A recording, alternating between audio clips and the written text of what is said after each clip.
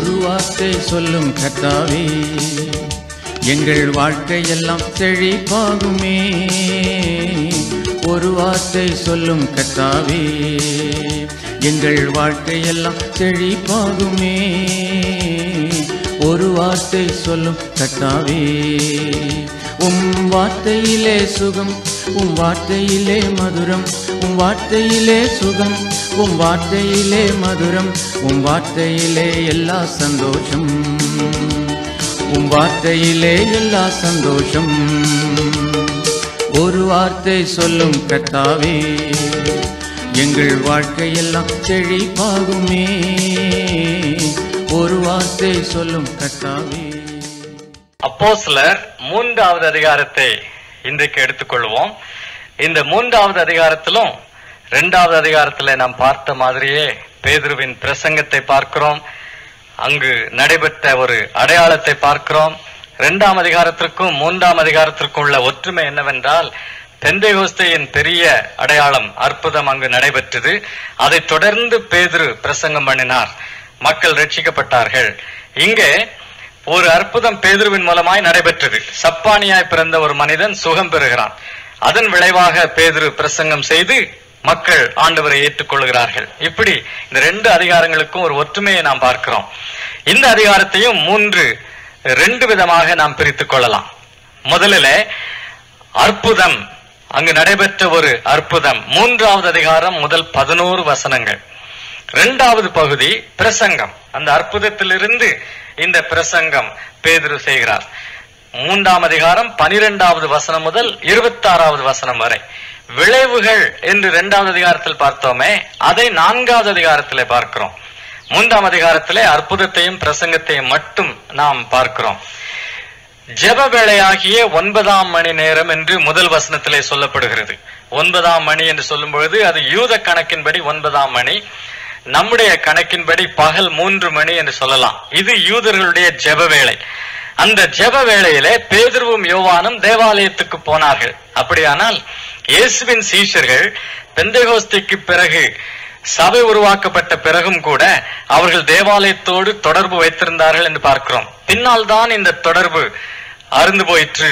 அவர்கள் தேவாலயத்தை விட்டு பிரிந்தார்கள் என்று பின்னாலே பார்க்கிறோம். ஆனால் இந்த சமயத்திலே தேவாலயத்தோடு தொடர்பு இருந்தது. தேவாலயத்திலே போய் ஜெபித்தார்கள் ஆராதித்தார்கள். அப்படி ஜெபிக்க சென்ற பொழுது தன் தாயின் வயிற்றிலிருந்து சப்பானியாய் பிறந்த ஒரு மனுஷனை சுமந்து கொண்டு வந்தார்கள். அப்படியானால் இவனுடைய பிரச்சனை அவன் பிறந்ததிலிருந்து இருக்கிற ஒரு பிரச்சனை. இதே நான்காவது அதிகாரத்திலே எப்படி பார்க்கிறோம்? அப்போஸ்லர் நான்காவது அதிகாரத்திலே இருபத்தி ரெண்டாவது வசனத்திலே அற்புதமாய் சொஸ்தமாக்கப்பட்ட மனுஷன் நாற்பது வயதுக்கு மேற்பட்டவனாய் இருந்தான் அப்படியானால் அவன் நடுத்தர வயதுள்ளவன் என்று கூறலாம். நாற்பது வயதுக்கு மேற்பட்ட வயதுள்ளவன். அவனை மனுஷன் மற்ற மனிதர் சுமந்து கொண்டு வந்தார்கள். அவனுடைய நண்பர்கள் அல்லது உறவினர் அவனை சுமந்து கொண்டு வந்து தேவாலய வாசலிலே வைத்துவிட்டு போய்விடுவார்கள். பிறகு மாலையிலே மறுபடியுமாய் அவனை தூக்கி கொண்டு போய் விடுவார்கள் இப்படி பிச்சைக்காரரை சுமந்து கொண்டு வருவது வழக்கமாயிருந்தது. பிறவி குருடன் ஒருவன் வழியருகே உட்கார்ந்து பிச்சை கேட்டுக் கொண்டிருந்தான் என்று யோவான் ஒன்பதுல பார்க்கிறோம் இல்லையா?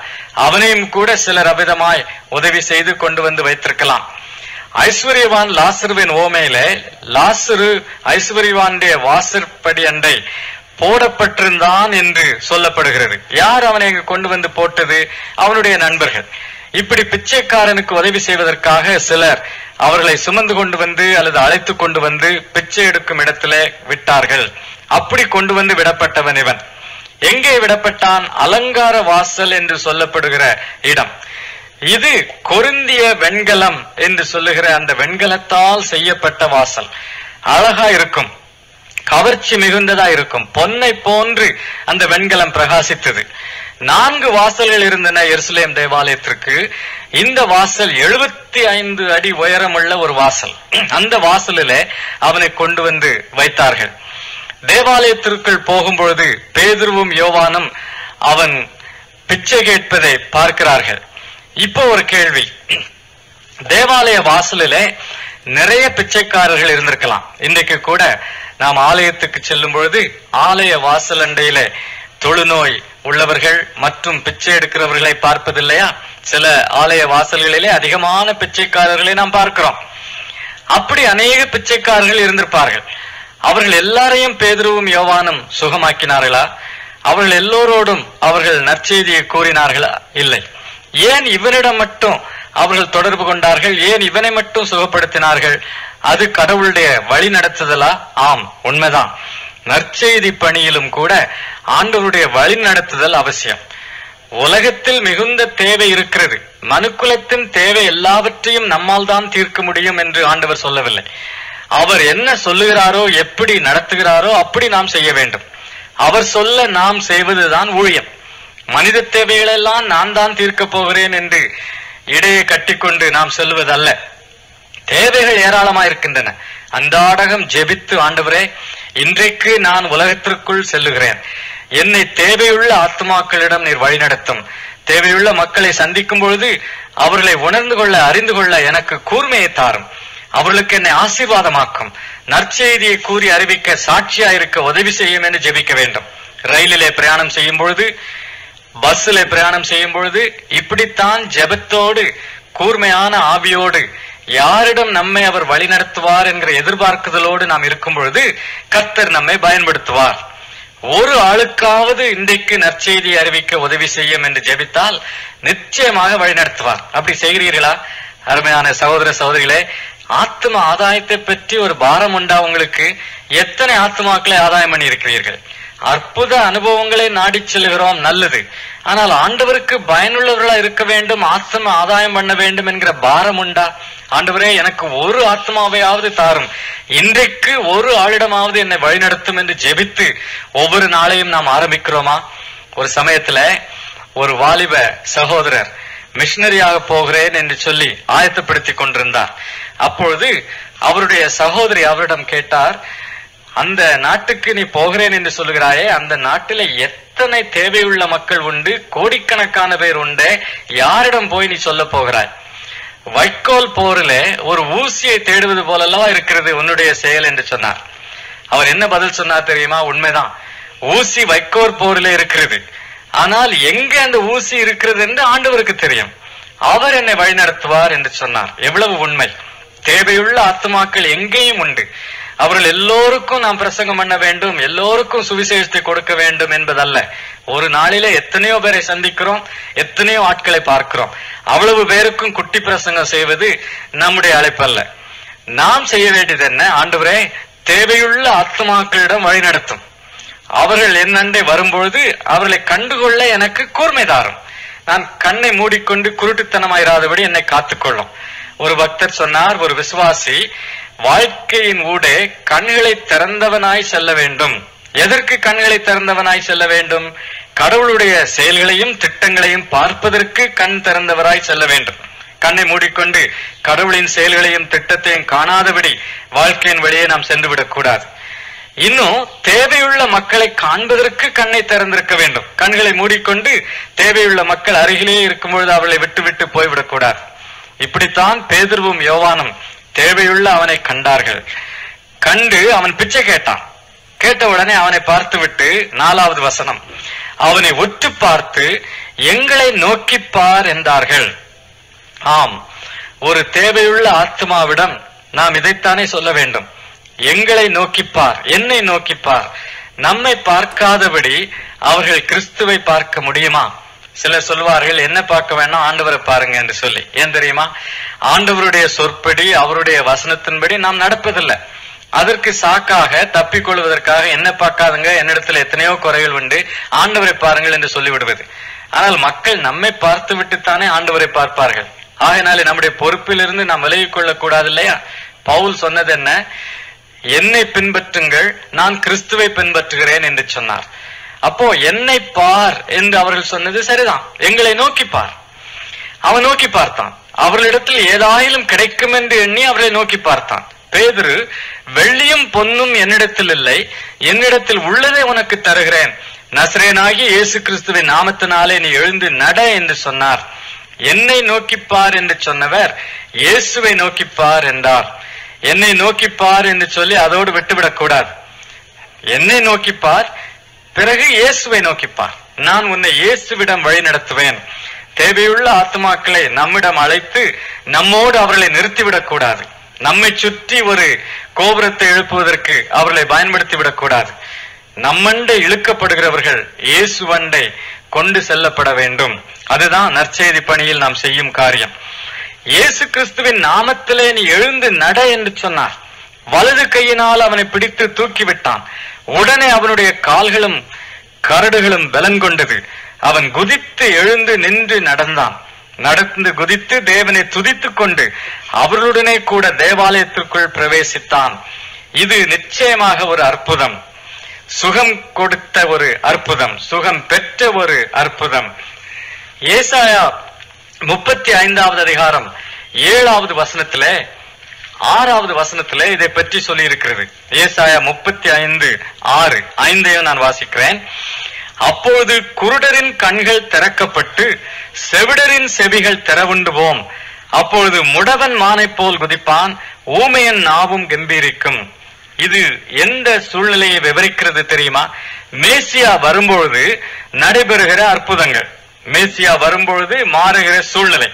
அதைத்தான் எடுத்து காட்டுகிறது இந்த வேத பகுதி. அப்படியானால் மேசியாவை குறிக்கும் அடையாளங்கள் இருந்தன. அதுல ஒரு அடையாளம் முடவன் மானை போல் குதிப்பான். அதுதான் இங்கே நடைபெற்றது. மேசியா வந்துவிட்டார். அவரின் நாமத்திலே இவர்கள் இந்த அற்புதத்தை செய்தார்கள். அவன் மானை போல குதித்து எழுந்து நடந்தான். இந்த அற்புதத்தினாலே இந்த அடையாளத்தினாலே நற்செய்தியை பிரசங்கிப்பது சாத்தியமாயிற்று. மக்கள் கிறிஸ்துவை பற்றி கேட்பது சாத்தியமாயிற்று. அப்போ ஒரு கேள்வி. நற்செய்தி பணிக்கும் அர்ப்பணிக்கும் இந்த நாளிலும் அற்புதங்களும் அடையாளங்களும் தேவையா? நிச்சயமாய் தேவை. அற்புதங்கள் அடையாளங்கள் மூலமாய் வசனம் முன் செல்கிறது நற்செய்தி அறிவிக்கப்படுகிறது. வார்த்தையினாலும் நற்செய்தி வாழ்க்கையினாலும் நற்செய்தி வேதனையின் மூலமாகவும் நற்செய்தி அடையாளங்களினாலும் நற்செய்தி. ஆகியவற்றையெல்லாம் கர்த்தர் பயன்படுத்துகிறார்.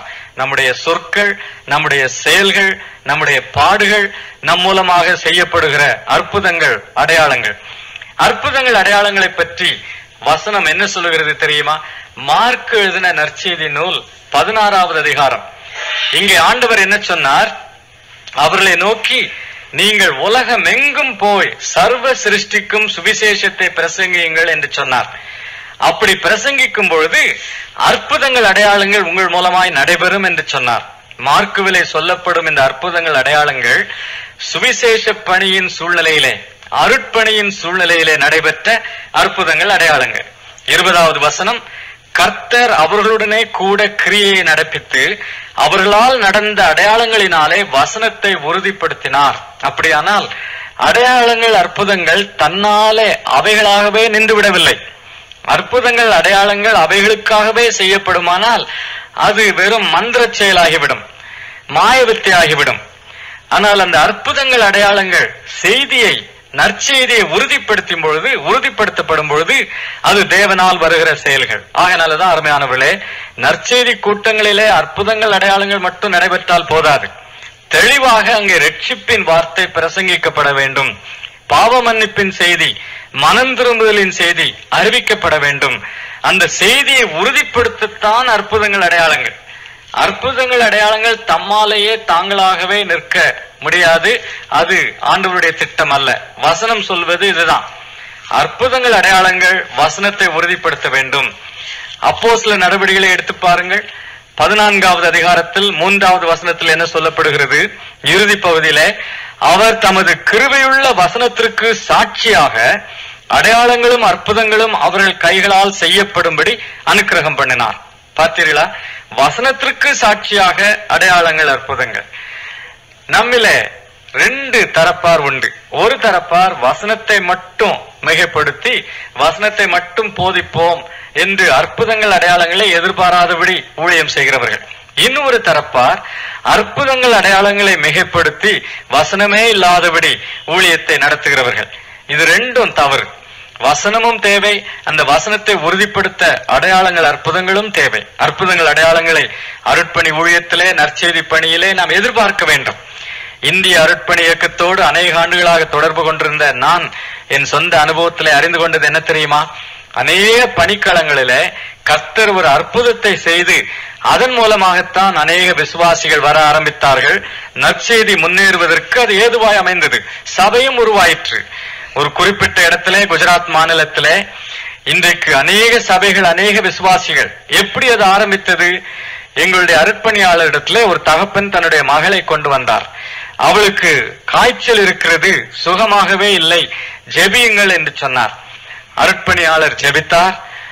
சுகம் கிடைத்தது. உடனே இதை கேள்விப்பட்டு அநேக மக்கள் வரிசையாக நின்று நற்செய்தியை கேட்க வந்தார்கள் ஜெபிக்க வந்தார்கள். அதன் பலனாய் அந்த சபை உருவாயிற்று. இப்படித்தான் அற்புதங்கள் அடையாளங்கள் வசனத்தை உறுதிப்படுத்த வேண்டும். இன்னொன்று நம்முடைய நற்செய்தி ஊழியத்துல ஆண்டவரே அற்புதமான ஒரு கிரியை நீர் செய்தருளும் இந்த ஊரிலே இந்த இடத்திலே.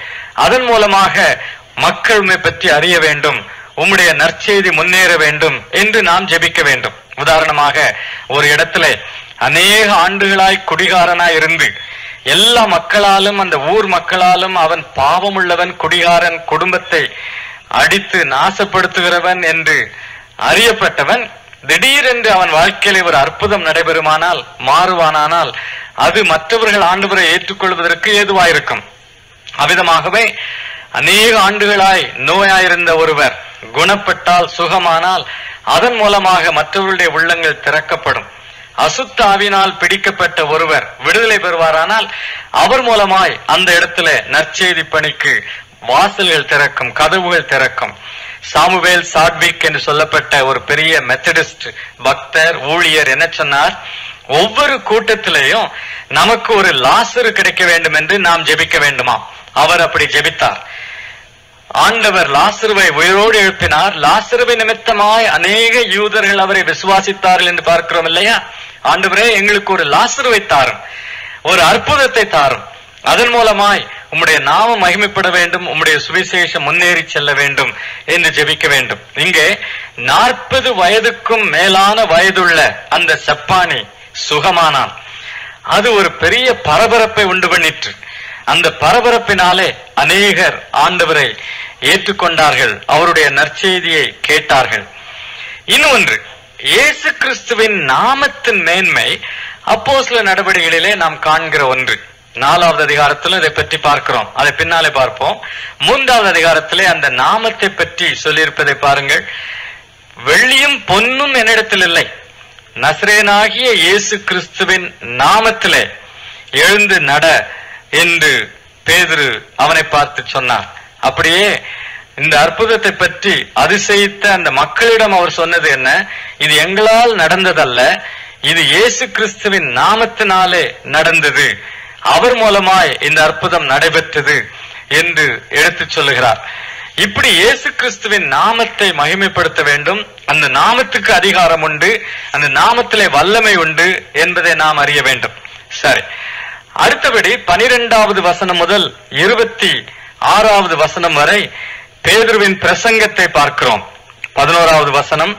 குணமாக்கப்பட்ட சப்பானி பேதுருவையும் யோவானையும் பற்றி கொண்டிருக்கையில் ஜனங்கள் எல்லாரும் பிரமித்து சாலமோன் மண்டபம் எண்ணப்பட்ட மண்டபத்திலே அவர்களிடத்திற்கு ஓடி வந்தார்கள்.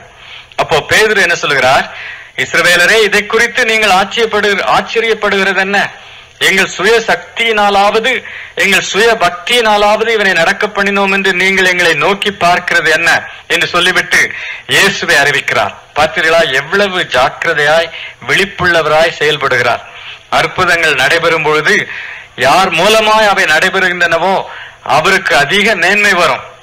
மக்கள் அவரையே கடவுளாக்கி விடுவார்கள். இதை பவுலின் அனுபவத்திலும் பர்ணபாவின் அனுபவத்திலும் பின்னாலே நாம் பார்க்கிறோம் அப்போ சில நடவடிக்கைகளிலே. அப்படிப்பட்ட சூழ்நிலையில நமக்கு மகிமை எடுத்துக்கொள்ளவே கூடாது. மேன்மை எடுத்துக்கொள்ளவே கூடாது. அது மட்டுமல்ல அந்த சந்தர்ப்பத்தை பயன்படுத்தி நமக்கு நன்மைகள் நாம் பெற்றுக்கொள்ளக்கூடாது. இதன் மூலமாக நமக்கு பணம் நமக்கு புகழ் நமக்கு ஒரு எதிர்காலம் நம்முடைய ஊழியத்தை கட்டிக்கொள்ள ஒரு வாய்ப்பு என்றெல்லாம் எண்ணக்கூடாது. கிறிஸ்துவுக்கு மகிமையை தரும்படியாக அந்த அற்புதத்தை நாம் நடத்த வேண்டும். இப்படி கிறிஸ்துவுக்கு மகிமையை கொடுத்துவிட்டு கிறிஸ்துவை கூறி அறிவித்தார் பேதுரு. ஆண்டவரை பற்றி என்ன சொல்லுகிறார் பாருங்கள். பதிமூன்றாவது வசனத்திலே ஆப்ரஹாம் ஈசாக்கு யாக்கோபு என்பவர்களுடைய தேவனாகிய நம்முடைய பிதாக்களின் தேவன் தம்முடைய பிள்ளையாகிய இயேசுவை மகிமைப்படுத்தினார். அவரை நீங்கள் ஒப்புக் கொடுத்தீர்கள் பிலாத்து அவரை விடுதலையாக்க தீர்மானித்த போது அவருக்கு முன்பாக அவரை மறுதளித்தீர்கள் வரலாற்று கிறிஸ்துவை அறிவிக்கிறார். ஏற்கனவே பார்த்தோம் இல்லையா இரண்டாவது அதிகாரத்துல. அதே பிரசங்க முறையைத்தான் இங்கு பன்- பின்பற்றுகிறார். அதே பிரசங்க குறிப்புகளைத்தான் இங்கேயும் பார்க்கிறோம். வரலாற்று கிறிஸ்து. ஆப்ரஹாம் ஈசாக்கு யாக்கோபு என்பவர்களுடைய வம்சத்தில் வந்த இயேசு. இன்னும் அந்த இயேசுவை பற்றி என்ன சொல்கிறார் தேவன் தம்முடைய பிள்ளை தேவனுடைய பிள்ளை. அந்த பிள்ளை என்கிற சொல்லை தாசன் என்று மொழிபெயர்க்கலாம். ஆங்கில மொழிபெயர்ப்புகளிலே தாசன் என்று அது மொழிபெயர்க்கப்படுகிறது. கர்த்தருடைய தாசன் என்பவர் மேசியாவை குறிக்கிறார். ஏசாயான தீர்க்கதரிசியின் நூலிலே கர்த்தருடைய தாசன் கர்த்தருடைய தாசன் என்று வருகிற அந்த சொல் மேசியாவை காட்டுகிறது. அப்போ இயேசுவை தேவதாசனாக மேசியாவாக பேதுரு அறிவித்தார். அடுத்தபடி இயேசுவை என்று சொல்கிறார். இயேசுவை மகிமைப்படுத்தினார். வரலாற்றில் வந்தவர் என்று அந்த இயேசு என்கிற பெயர் அதை அறிவிக்கிறார். அடுத்தபடி பதினான்காவது வசனத்திலே பரிசுத்தமும் நீதியும் உள்ளவர். பரிசுத்தம் உள்ளவர் நீதியுள்ளவர். மேசியாவான தேவன். அடுத்தபடி என்ன சொல்கிறார்? பதினைந்தாவது வசனத்திலே ஜீவாதிபதி. ஜீவனுக்கு அதிபர் ஆனால் அவரை போய் நீங்கள் கொண்டு விட்டீர்கள் என்று எடுத்து காட்டுகிறார். இப்படி ஜீவாதிபதியை கொலை செய்தீர்கள் என்று சொல்லுகிறாரே எதற்காக? அவர்களுடைய பாவத்தை அவர்கள் உணர வேண்டும்.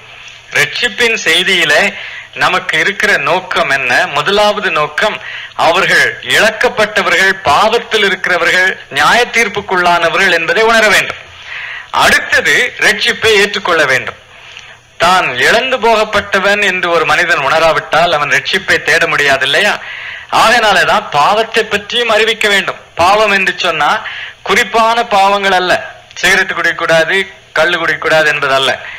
அதுவும் இருக்கிறது. ஆனால் நாம் காட்ட வேண்டியது என்ன? கிறிஸ்துவை நீங்கள் ஏற்றுக்கொள்ளவில்லை. அவருக்குரிய இடத்தை கொடுக்கவில்லை.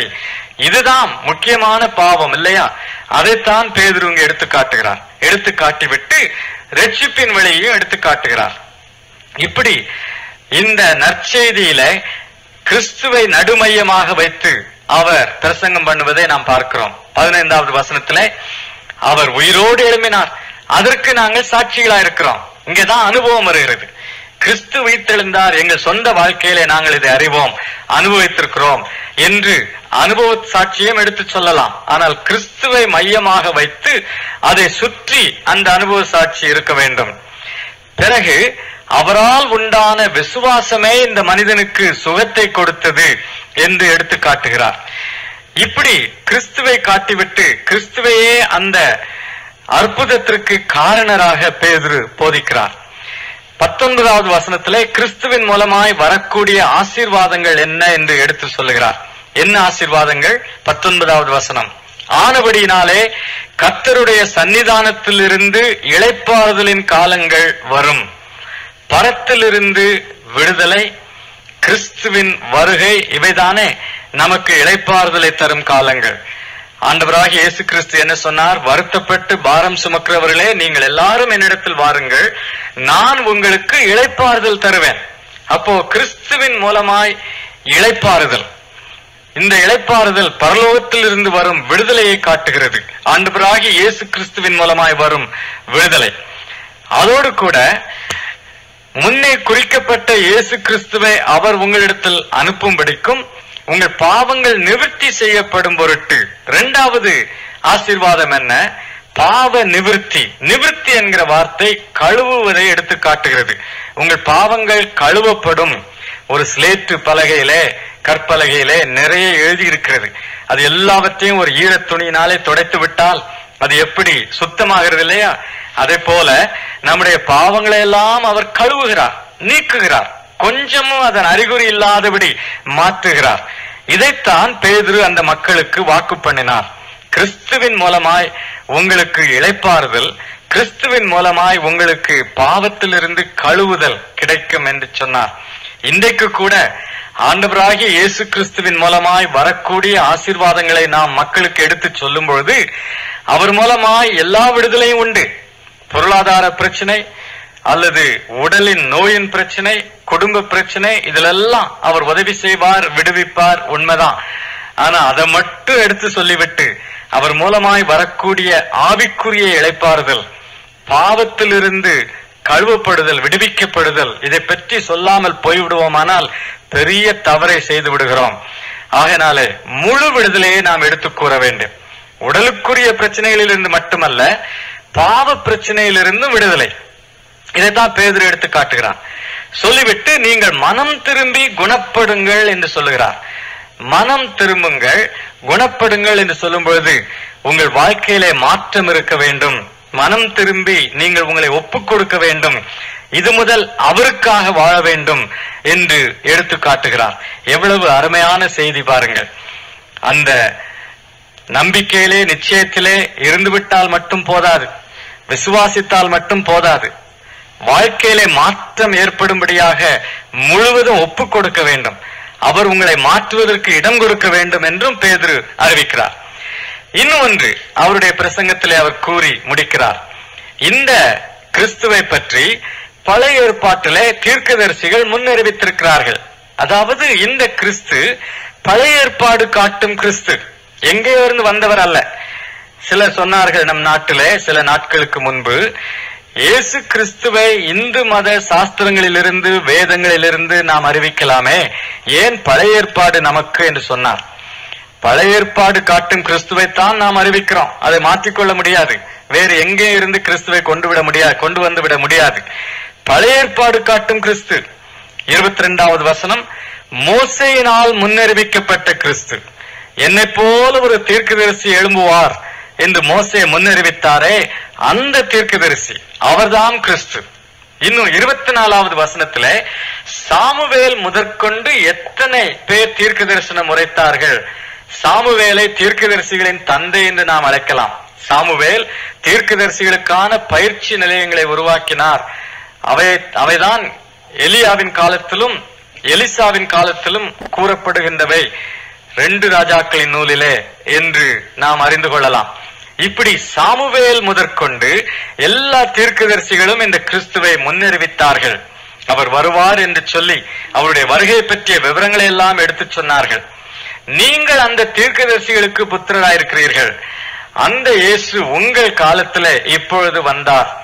அது மட்டுமல்ல அவர் மூலமா எல்லா மக்களும் பூமியில் உள்ள வம்சங்கள் எல்லாம் ஆசீர்வதிக்கப்படும் என்று ஆபிரகாமுக்கும் சொல்லப்பட்டிருந்தது. அப்ப பாருங்க ஆபிரகாம் மோசே சாமுவேல் என்று சொல்லி எல்லா பழைய ஏற்பாட்டு தெய்வ மனிதர்களும் கிறிஸ்துவோடு பொருத்தப்படுகிறார்கள். இவர்கள் மூலமாகவெல்லாம் முன்னறிவிக்கப்பட்ட கிறிஸ்து என்று பேதுரு அறிவிக்கிறார். இன்னும் என்ன சொல்லுகிறார்? இருபத்தி ஆறாவது வசனத்திலே அவர் உங்கள் எல்லாரையும் உங்கள் பொல்லாங்குகளில் இருந்து விலக்கி உங்களை ஆசீர்வதிக்கும்படி தேவன் தம்முடைய பிள்ளையாகிய இயேசுவை எழுப்பி முதலாவது உங்களிடத்திற்கே அவரை அனுப்பினார் என்றான். இயேசு கிறிஸ்து வரலாற்று கிறிஸ்து பழைய ஏற்பாட்டிலே முன்னறிவிக்கப்பட்டவர். அவர் மூலமாய் உங்களுக்கு இளைப்பாறுதல் பாவத்திலிருந்து கழுவுதல் அவருடைய நாமத்தினால்தான் இந்த மனுஷன் சுகம் பெற்றான் என்றெல்லாம் சொல்லிவிட்டு இந்த இயேசுவை நீங்கள் கொலை செய்தீர்கள். ஆனால் அந்த இயேசு உயிரோடு எழுப்பப்பட்டார்.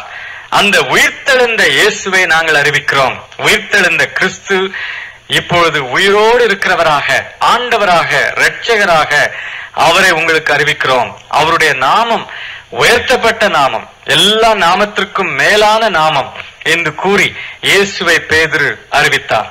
அருமையான தெய்வ மக்களை நாமும் நற்செய்தி பணியிலே முன்னேறி செல்லும் பொழுது இந்த சத்தியங்களை மனத்திலே இருத்திக் கொள்ள வேண்டும். எப்படிப்பட்ட கிறிஸ்துவை நாம் மக்களுக்கு காட்டுகிறோம் என்பது ரொம்ப முக்கியம் இல்லையா? என்னை பார் என்று சொல்லுகிறோம். பிறகு இயேசுவை பார் என்று அவர்களை இயேசுவண்டை வழிநடத்த வேண்டும். வழிநடத்தும் பொழுது எந்த இயேசுவை வெளிப்படுத்துகிறோம்? திருமறை காட்டும் இயேசு. திருமறையிலே அவரை பற்றி சொல்லியிராததையெல்லாம் நாம் கூட்டி சேர்க்க கூடாது. திருமறையிலே சொல்லி இருப்பதையெல்லாம் கழித்து விடவும் கூடாது. திருமறையில் அவரை பற்றி என்ன சொல்லி இருக்கிறதோ அதையெல்லாம் அப்படியே அறிவிக்க வேண்டும். அதோடு கூட அவர் சிலுவையிலே அறையப்பட்டவர். அவர் பாடு அனுபவித்தவர். அவர் மறித்தவர் உயிரோடு எழுமினவர் இப்பொழுதும் உயிரோடு இருக்கிறவர் என்று சொல்லி இப்படிப்பட்ட இயேசுவை நாம் அவர்களுக்கு அறிவிக்க வேண்டும். ஜீவாதிபதியாக ஜீவனுக்கு அதிபராக அறிவிக்க வேண்டும். மக்கள் மனம் திரும்பி குணப்படும்படி அவர்களை அழைக்க வேண்டும். இப்படிப்பட்ட ஊழியத்தில முன்னேறி செல்வோமாக. பிரார்த்தனை செய்வோம். அன்புள்ள ஆண்டவரே உமக்காக எங்கள் வாழ்க்கையை விட்டுக் கொடுப்பதும் ஊற்றிக் கொடுப்பதும் எவ்வளவு பெரிய சாக்கியம் சுவாமி. இதோ இந்த செய்தியை கேட்டுக்கொண்டிருக்கும் அருமையான வாலிப சகோதர சகோதரிகளுக்காக ஜெபிக்கிறோம். எங்கள் வாழ்க்கையை உமக்கென்று நாங்கள் கொடுத்து மேலான காரியங்களை பெற்றுக்கொள்ள கிருபை செய்யும். சுயநலத்தில் நின்று சிற்றின்பங்களில் நின்று எங்களை விடுவித்து உமக்கென்று பயனுள்ளவர்களாக்கும். இயேசுவி நிமித்தமே வேண்டிக் கொள்கிறோம். ஆமன். மாறாவின் தண்ணீரெல்லாம் மதுரமாக மாறி போகும். மாறாவின் தண்ணீரெல்லாம் மதுரமாக மாறி போகும்.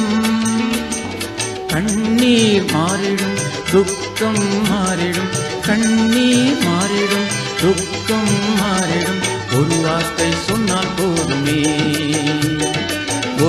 வார்த்தை சொன்னால் போதுமே. ஒரு வார்த்தை சொல்லும் கட்டாவே எங்கள் வாழ்க்கையெல்லாம் செழிப்பாகுமே ஒரு வார்த்தை சொல்லும் கட்டாவே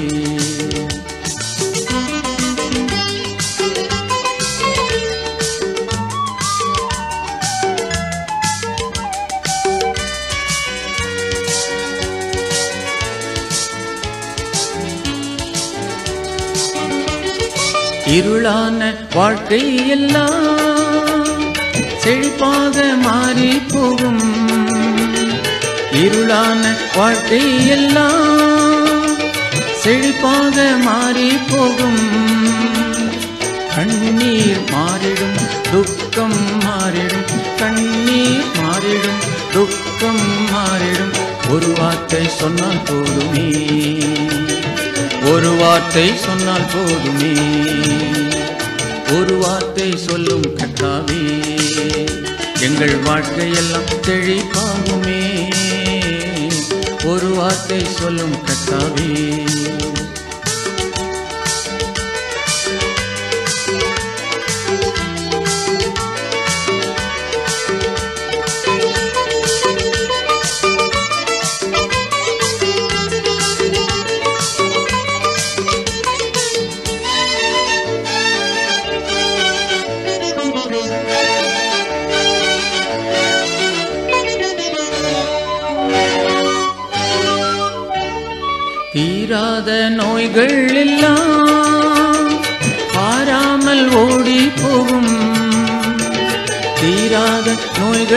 எல்லாம் பாராமல் ஓடி போகும்.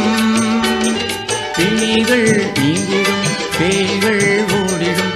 பிணிகள் நீங்கிடும் பேய்கள் ஓடிடும். ஒரு வார்த்தை சொன்னால் போதுமே. ஒரு வார்த்தை சொன்னால் போதுமே. ஒரு வார்த்தை சொல்லும் கட்டாவே. எங்கள் வாழ்க்கையெல்லாம் தெளிப்பாகுமே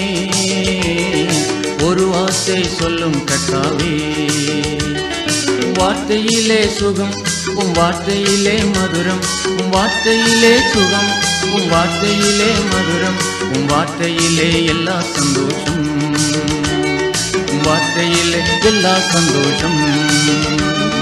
ஒரு வார்த்தை சொல்லும் கட்டாவே எங்கள் வாழ்க்கையெல்லாம் செழிப்பாகுமே ஒரு வார்த்தை சொன்னீர் கர்த்தாவே.